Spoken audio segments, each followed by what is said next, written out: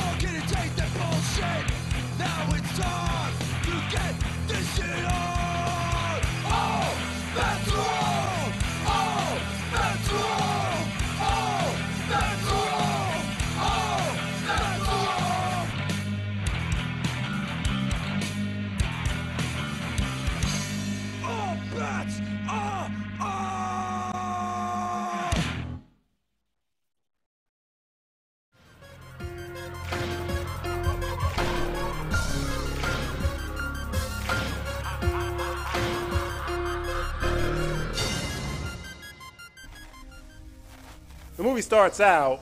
Wait, broad daylight pictures. Great, even the movie doesn't know whose ass is squirted out of.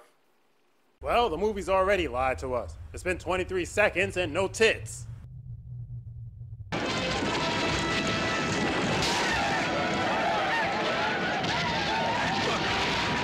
I guess they didn't like the stuffing. A topless pilgrim is running through the forest because bras hadn't been invented then, so some spillage every now and then was expected. She's running from an unknown assailant when she trips over a rock. Not to worry though, her fall was well cushioned. Nice tits, bitch. That's our killer turkey, everyone. What do you think? No, sir, I don't like it. He looks like a sunburned Skeksis. Hmm? This leads to the title sequence, which I have to admit is pretty fucking awesome looking. Sadly, I'm being serious. This is the best looking thing in the whole movie. The music is good too, even if it does sound a little familiar.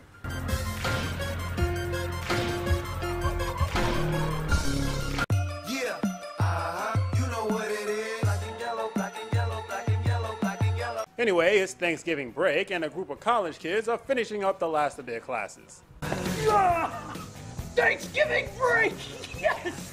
Yes! Yeah! Spring break, guys. Let's get wasted. Who the hell gets excited over Thanksgiving break? It's two fucking days! Four day weekend. Then again, judging by the size of his stomach, I know why this is his favorite time of year. The group are all going to travel home together since they all live in the same town, I guess. Except this guy. He never mentions having a family to go home to. He just rides along with them, which makes me wonder where did they leave him when they got home?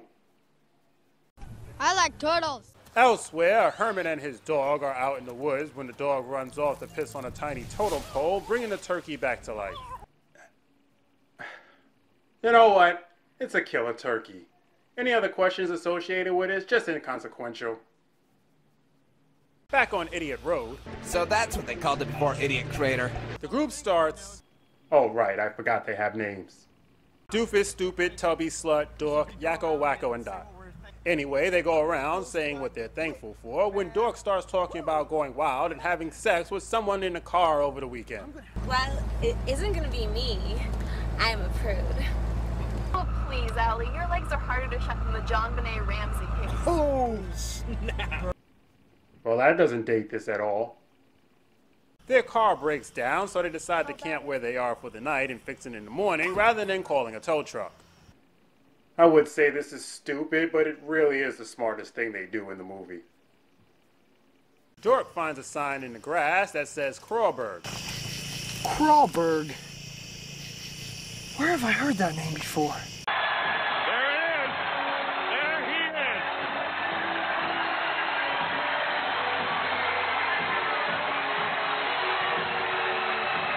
Remembering where he heard the name before, he tells the group the legend of the killer turkey.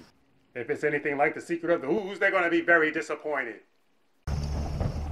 Back in the 1500s, in the settlement of Kralberg, an old Indian by the name of Feathercloud, who some people thought had black magic powers. Did they gush out of his nipples because they looked like they'd been overly milked? Basically, Tubby's ancestor pissed this guy off, so he put a curse on the white man. So now you know why white men can't jump. Feathercloud necromanced a turtle that would roam the earth every 505 years, killing the first humans he made contact with. Yeah, he wasn't any good at doing black magic. That was the only spell he really knew. Most of the time, he just stood around waving his hands, going hookah hookah hookah hookah hookah hookah hookah hookah hookah. Well, it's kind of a legend, guys. There are tons of books written about it. I think you got that confused. There are tons of books about killing turkey, not killer turkey. Nearby in the woods, the hermit finds his dog dead with Turkey, yes, that's his name, who confesses to killing the dog. Turkey, you demon. So long, sucker. I will get you, Turkey. I'll get you if it's the last thing I ever do. Why? Why?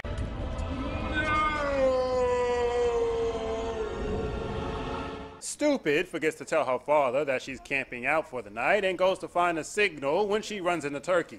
There's No such thing as an evil turkey. Oh, wait. I lied.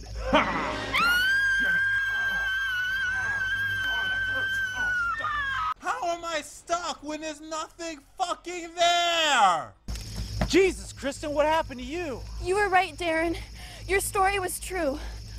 There is an evil turkey on the loose.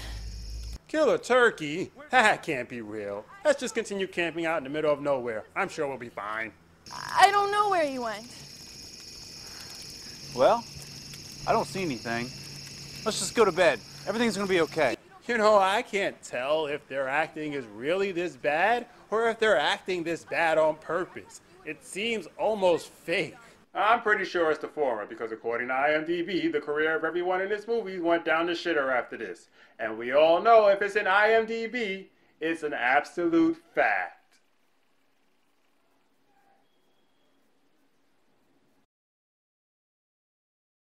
The next morning, Tubby wakes up to a hillbilly welcome. The hermit says he saved Tubby from the turkey and that he plans to kill Turkey, so they should be on their way.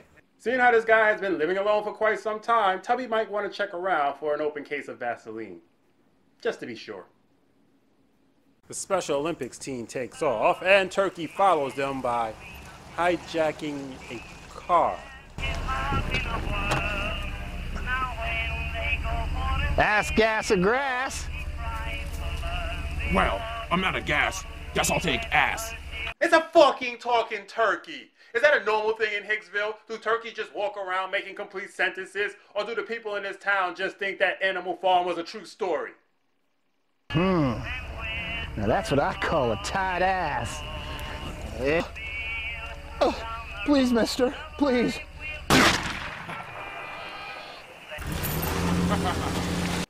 Well, that was pointless. And stupid. The first person dropped off is Slut, who just has to get her last flirt in with Doofus. Oh, looks like somebody's trying to get with you, Johnny. Haven't you noticed? She tries that with everyone. It's like her legs are harder to shut than the JonBenét Ramsey case. Oh, oh, shit! Because it was so funny the first time. Doofus is home talking with his dad just in time to see him decapitated by a turkey. Go team, Johnny. Well, I know what future this holds. Throw it back, Dad. Dad? After his parents are killed, Doofus gathers the Special Ed Club to tell them what happens, but the slut is still at home doing what sluts do naturally. God damn it, Grant. You really don't last that long, do you? No, no, I, I can't. I, I can't. I can't. I can't. I refuse. I, I refuse to dignify this with a joke. Damn, that was good. You just got stuffed. This is bad comedy. Heading over to Slut's house, Doofus goes inside to check on her. Do you think we made it in time? Don't even talk like that, Billy. At least her legs were harder to close than JonBenét. Shut the fuck up! Is she? Is she? Yes, guys. She's dead. Gee, what a loss. The world will never be the same without her. They decide that their best course of action is to read about how to kill Turkey, so they head to Stupid's house because the libraries are closed and her dad has a garage full of books. But Turkey gets there before them and. Those darn kids. Down here. Oh, well, hello there, little buddy. What can I do you for? Yeah. Um.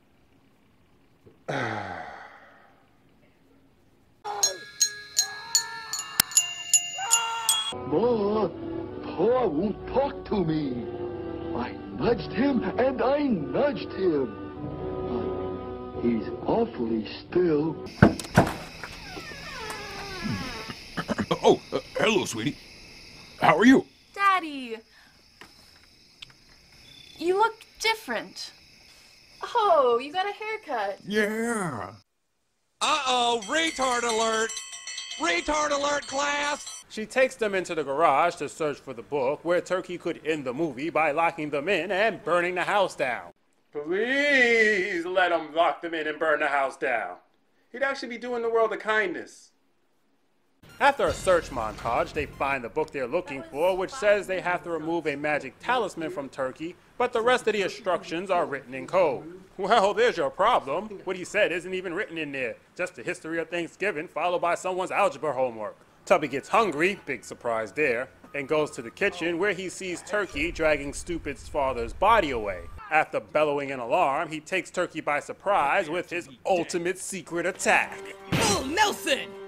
They get the talisman, but Turkey manages to escape, making Tubby really pissed off. My guess is it's over the fact that he just let his next meal get away. Tubby is walking down the street, again complaining about how he's hungry, where he sees a turkey on the ground, so he picks it up and eats it. I would make a joke about how stupid this is, but I've known people who've done this. And no, they weren't homeless.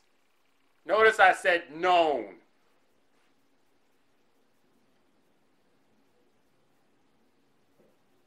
No, I don't know why he would eat a cartoon glowing turkey.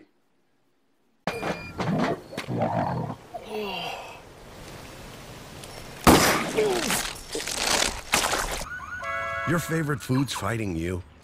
Fight back fast with Tums. After finding Tubby's body, they head to Turkey's teepee because the book said that's where he lives to kill him. Having cracked the code, they discover that they have to say a demonic prayer backwards and burn Turkey at the stake. Rather than just setting the teepee on fire and saying the prayer, they decide the wisest thing to do is to go inside. It's like we're smart, but we're not. After they say the prayer, Turkey escapes again, only to be shot by the hillbilly. Kill that son of a bitch. He's in that dumpster right over there. You don't understand. He needs to be killed in a certain way. If he isn't, who knows what might happen. Oh. Yep, he's dead.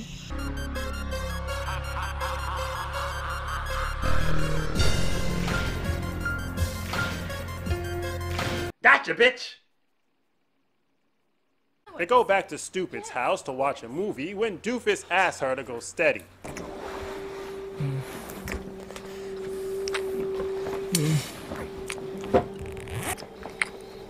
I'm gonna go pee now. Yeah, right. you know you're gonna go get some lotion and enjoy the show. Because Turkey landed in radioactive waste, he comes back to life, killing Dork and Doofus. Hooray! Before Stupid finally finishes him off.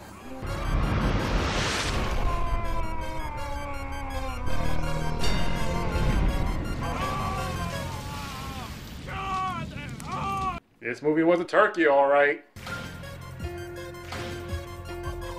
They didn't even have enough plot to fill out an hour with this shit. If you remove the filler, and there's a lot of it, you have about 20 to 30 minutes tops of footage actually related to the plot. The jokes and puns were terrible.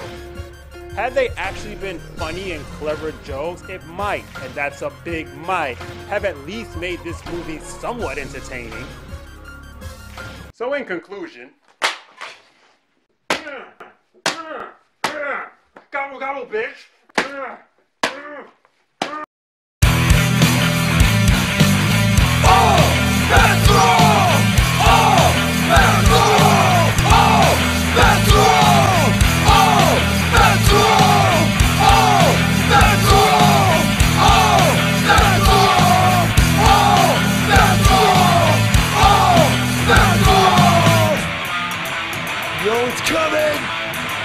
Coming! Here's one! Oh, Back to the face!